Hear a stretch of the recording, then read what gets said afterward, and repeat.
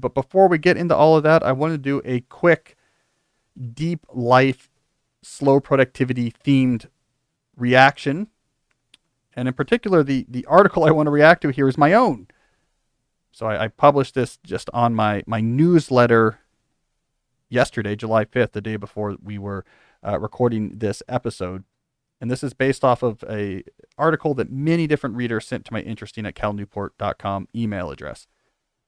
All right, so the title of this of this article, which I wrote for my newsletter, and if you don't subscribe to that newsletter, calnewport.com, you should. It's once a week.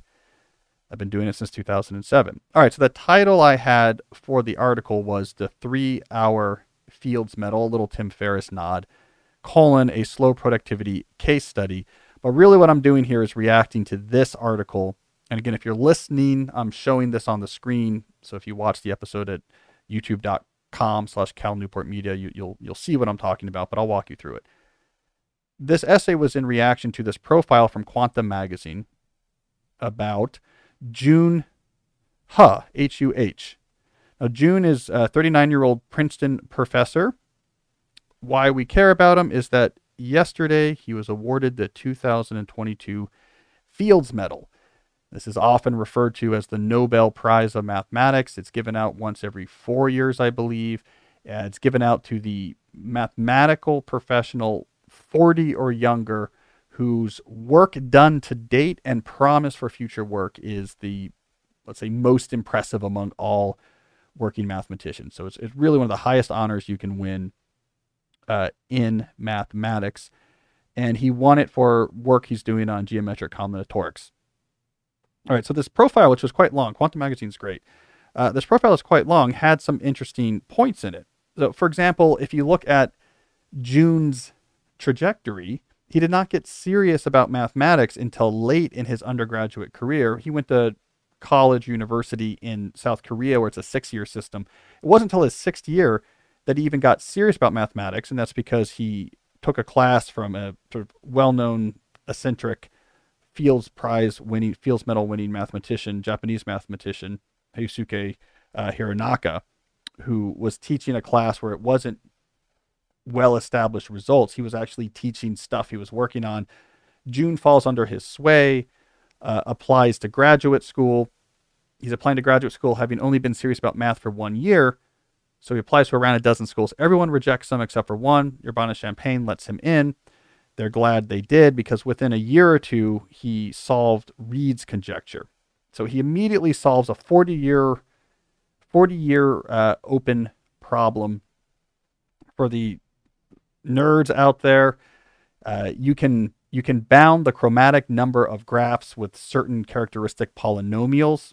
The chromatic number of a of an undirected graph being the minimum number of colors by which you can color the vertices such that no two adjacent vertices have the same color all of my hopefully all my algorithms and discrete mathematics students know what I'm talking about here.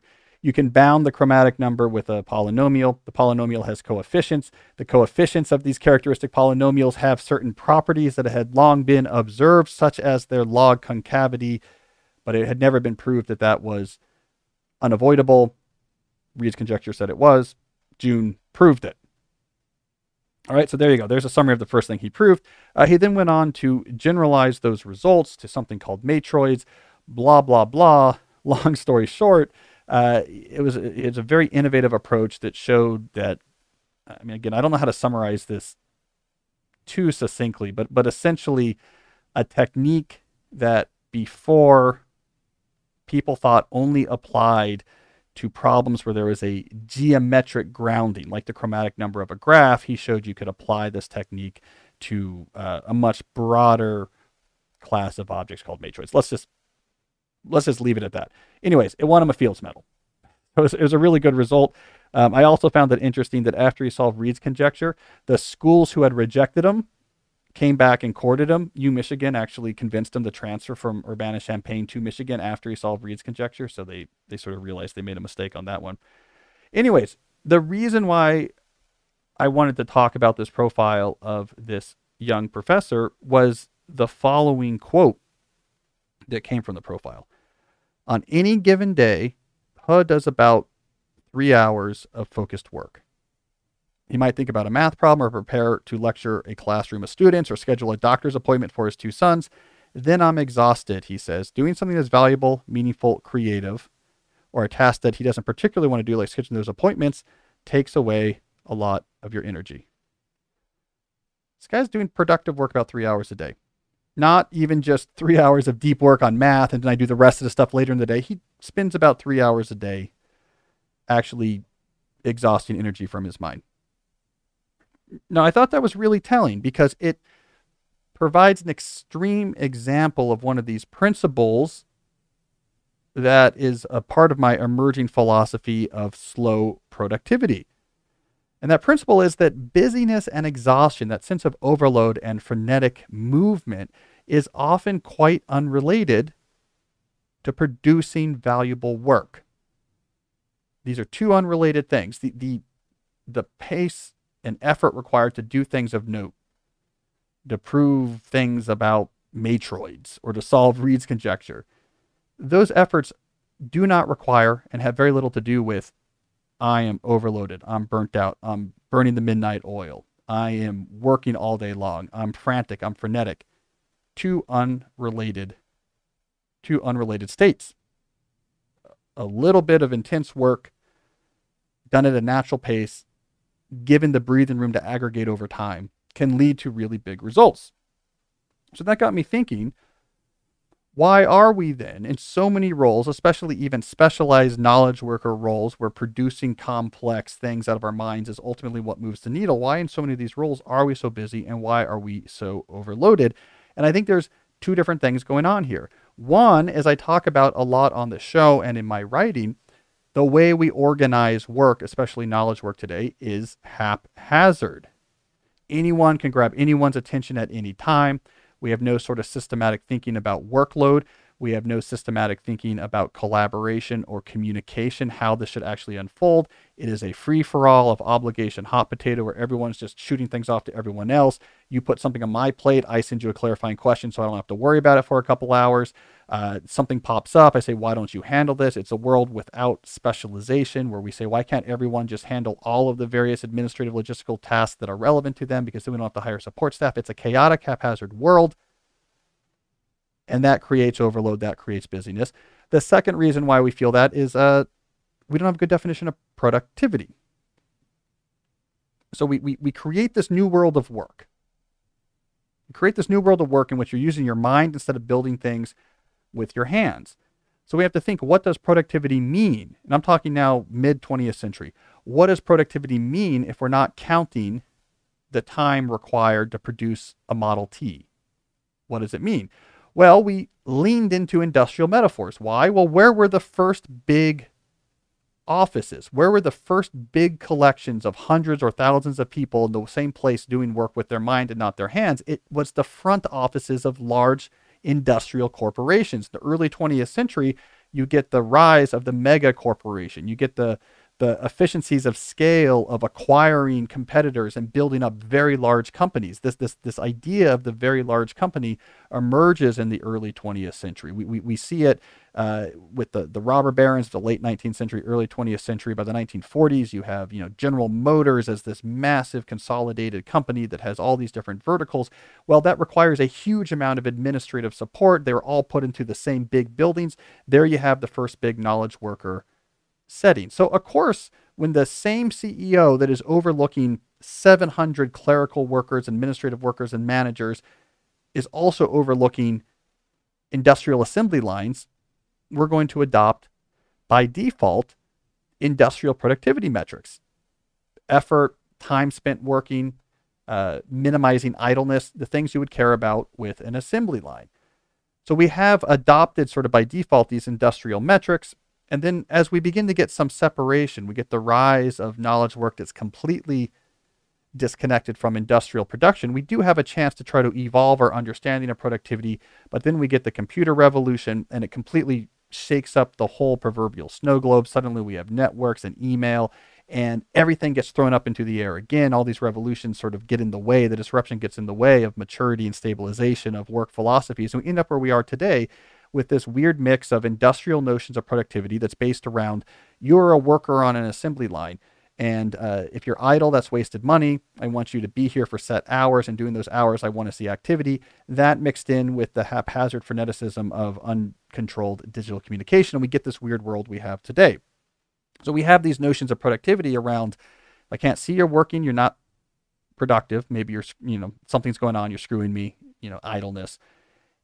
And so we want you to be working for these hours. We want to see that you're working. If you're not going to be in the office, then we want to see that you're responding to Slack and email because activity is value, inactivity is wasted value. Very old notion. So we need new notions of how do you productively create value in a skilled cognitive environment? And that's where something like slow productivity is trying to fill a void. Let us evolve our notion of productivity away from what you would want with factory workers and towards something that actually makes sense for people trying to add value to information using their mind. So it's an extreme example, three hours a day, and you have a Fields medal by 39. But the extremes are often great for highlighting the underlying realities. Busyness and overload is unrelated to producing things that actually matter. Three hour Fields medal. I saw something, Jesse. Now I forgot who it was. I think a reader sent it to me. Uh, it was a writer who has simplified their writing down to one day a week. Really? Yeah. And they're a pretty productive writer. It's a nonfiction. I forgot exactly what space he's in, but just one day a week he writes. I think it's Thursdays. And over time, he has built up this like really nice collection of books that he's written. I mean, again, overload, busyness, that sense of like, I don't have enough time. If anything gets in the way of producing stuff that matters, not the, not the recipe for it. You like writing every day, though, don't you? I do. I've been writing in the morning. We we finally have all the different uh, workmen out of our study, and my desk isn't there yet, but there's a table in there, and so I go in there each morning, and that's where I've been writing. So like two hours a day. I'm trying to two, yeah, two to three, yeah. I mean, I'm I'm making progress on. Here's my quick writing update. If if you're interested, I'm working now in my slow productivity book that I'm writing on the the principle about doing fewer things. It's looking like this is going to come in at a 15, 15 to 20k word section. So there's these three big sections, one for each of the principles, and they're, they're going to be pretty big, maybe about 15,000 words each. And um, I'd been stuck for a little while on this particular section, and I feel like I have some traction going. And so that's what I've been working on. Uh, when I was on my trip, I was getting unstuck, which means figuring out what is my path through this particular section? What are the examples? How do I want to streamline this? I did not, I was trying to force what I had before to work and I had cognitive friction. I knew it wasn't working. The, the examples I wanted to use when I dived deeper into the source material weren't what I wanted. Didn't seem like it's what I needed. Uh, and over this trip to Tennessee, I, I, I reworked it, I streamlined, and now it's rolling. Now it's rolling. So I'm not far into the section I'm writing, but I have forward momentum. So so hopefully I'll finish that up this week. When you do your weekly plan, do you map out like what you're going to write about each day? Like for instance, because you have your New Yorker stuff, you have your books, you have Yeah, I have to figure that out. Yeah, I have to. Fi- I mean, that's that's what happened. I'm in a confusing writing landscape right now because I was I've been working on this big principle of the book. Then I shifted over uh, to a, a magazine piece, New Yorker piece, that was going to serve double duty as a, a, a, piece for the New Yorker, but also for a chapter earlier in the book. Then uh, something else came along, and it was sort of more of a topical article. And I said, "Yeah, I want to shorter. Let me write that." So like all of that got put on pause, so I could I wanted to write a, a shorter sort of topical piece, um, and that was la- the week before my trip. So everything got put on pause for that. Finished that. That's in editing. And when I came back, now I'm close enough to finishing this principle that I'm like I'm going to do that and then turn back to finishing the original piece I'm working on. Uh, The details here are not that important.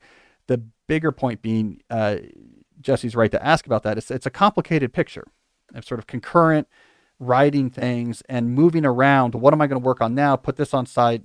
Put this on hold now, so I write this. It's not always an obvious formula how you make those decisions, and and it's something that requires some thought. Like right now, the way I'm thinking about it is because I'm in editing with this one uh, magazine piece. I don't want to work on another magazine piece while I'm editing a current one. It, it's it too close to home. We're going to cross the circuit. So that's why I, while I'm editing this piece, I want to write. It's essentially more of an advicey type section of my book, which is quite different. So these are the type of chess pieces you move around.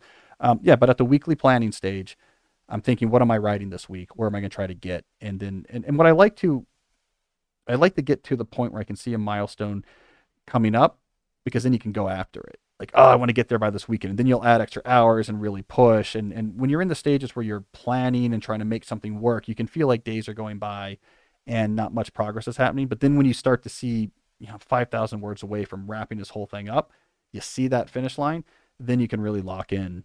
And it can be pretty, you get these really productive, locked in sessions. Mm-hmm. But anyways, that's all just to give the impression of the writing life can be more comp. It seems simple, but it can be complicated. Figuring out what I should be writing now is is not always obvious.